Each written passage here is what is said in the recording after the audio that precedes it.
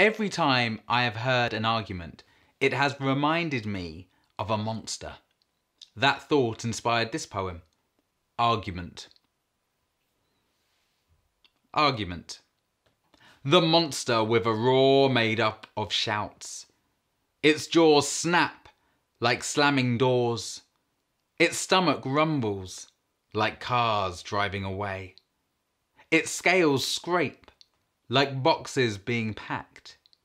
Its claws clatter like kitchen drawers.